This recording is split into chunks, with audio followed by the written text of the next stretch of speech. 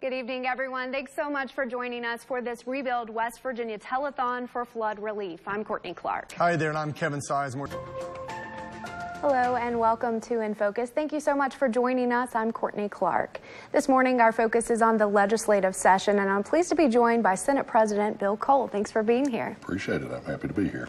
Well, let's start by taking a look back. A West Virginia official says there are four confirmed fatalities from flooding that has devastated parts of the state. Meteorologist Travis Roberts is live in Greenbrier County this afternoon with more on that devastation. Good evening, and thanks so much for joining us. We're broadcasting live for the fifth day here from Fairlea at the State Fair of West Virginia. I'm Courtney Clark. And I'm Greg Carter. You know, it feels like fun, feels like fair. That's the theme for 2015, and it certainly fits the bill for this year. We've had all kinds of fun and uh, the kind of really only comes from the State Fair of West Virginia. That's right, and we've been able to do so many things this week. This is our final day of live broadcast, but there's still plenty of time for you to come out. Well, thanks for staying with us. I'm back now with a new co-host. I don't think I have to introduce him, but Billy Ray Cyrus, thanks for being here and making that trip up from Nashville. It's an honor to be with you. Welcome to WVVA's live broadcast of Virginia's 9th Congressional District debate featuring Morgan Griffith and Derek Kitts. With WVVA's Courtney Clark moderating, we now take you live to Tazewell Middle School. Good evening and welcome to this ninth congressional debate. I'm Courtney Clark. Thanks so much for joining us. If you're joining us from home or online, we're broadcasting live from Tazewell Middle School. Thank you all so much for having us here. Now, on November 8th, residents of southwestern Virginia will head to the polls for someone to represent the 9th District. Tonight, you'll hear from the candidates on key issues, but first, let's get to know them. We will be hitting every corner of our coverage area and around the state, from the Capitol to right here at home.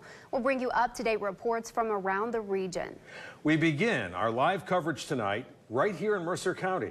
WVVA's Joshua Bolden has been out talking with voters and election officials all day. He joins us live with more. Joshua. From churches to schools to live reports, it's a story we tell too often. Deadly shootings have become a daily topic. In tonight's special report, we talk to people on both sides of a heated debate, hearing their thoughts on the problem and the best approach to solve it.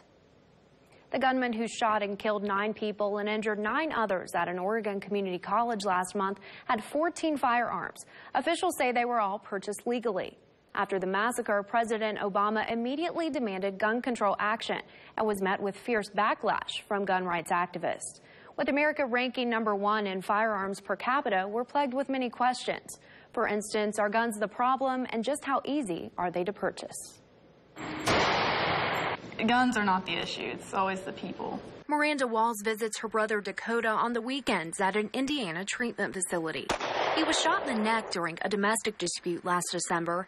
The shooting took the life of his friend and left him paralyzed. You don't expect that. You always think it's happening to someone else, but to someone else, you are someone else. Miranda's friend Anna Brogan says recent events at home and across the country have heightened her awareness, especially on campus. We um, especially in West Virginia and small towns like ours, don't expect something like that to happen. And it happens in big places and in tiny little country areas like ours. From a mass shooting at a quiet community college in Oregon to an officer involved shooting in downtown Bluefield and the killing of two Roanoke, Virginia journalists on air. Gunfire has sparked an outcry from people on both sides of the aisle. President Obama demanding gun control. This is a political choice that we make to allow this to happen every few months in America. An activist saying guns are not the issue, but a solution to the problem. Pretty much everything that I've read or seen in the last little bit on any of these tragedies have been in a gun free zone, a publicized gun free zone, which to somebody that's mentally unstable, it appears that that is a. Uh, a way of knowing that they're not going to be deterred. Had anyone else had the ability to protect themselves at any of these situations, it probably would have ended uh, much differently than it has. Gun control advocates ask how differently, pointing out that most mass shooters aren't afraid of being killed, especially those suffering from mental illness, an issue that everyone agrees needs to be recognized.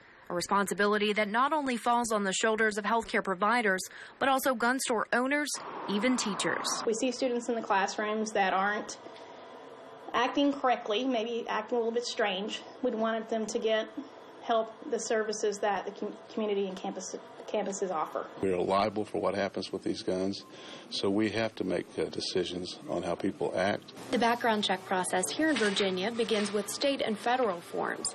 It's then screened through NICS and Virginia State Police, a process that takes approximately 10 minutes. The results are basically instantaneous, yet the final decision rests in the hands of the seller. You know, uh, most often it's the, under the influence of alcohol, or somebody comes in in a mad rage. We wouldn't sell them a gun, or somebody uh, just just acts different. Not an easy task, holding gun sellers and buyers accountable and keeping them out of the hands of the wrong people.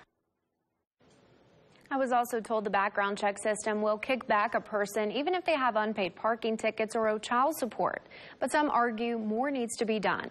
Again, it's a heated debate with no end in sight. To join the conversation, just search WVVA News on Facebook. Hello, and thanks so much for joining us. I'm Courtney Clark. We are broadcasting live from the 37th annual Better Living Show here at the Brush Fork Armory. Hey, Greg, as you can see behind me, everything's getting set up for Cody Wickline from season 8 of The Voice to take the stage at 8 this evening. The music begins at 7 o'clock. We have several great performers. Wow. West Virginians never disappoint, do they? I Never. have to say, 201,270. Yeah, that's I'm looking at you right met now. that challenge. Wow. Thank you all. We're going to send it back over to Amanda Barron Way in to go, Studio B. Thank you. Inside Edition's up next, and WVVA News continues at 6. Don't forget, we're always on at WVVA.com. We'll see you in 30.